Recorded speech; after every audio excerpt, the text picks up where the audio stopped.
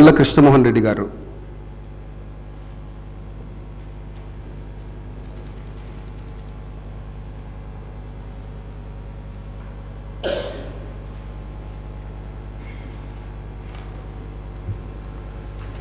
బండ్ల కృష్ణమూర్తి అనే నేను శాసనసభ సభ్యునిగా ఎన్నికైనందున శాసనం ద్వారా నిర్మితమైన భారత రాజ్యాంగం పట్ల నిజమైన విశ్వాసం విధేయత చూపుతానని భారతదేశ సార్వభౌమాధికారాన్ని సమగ్రతను కాపాడుతానని నేను స్వీకరించబోయే కర్తవ్యాన్ని భక్ శ్రద్ధాభక్తులతో నిర్వహిస్తానని దైవ సాక్షిగా ప్రమాణం చేస్తున్నాను.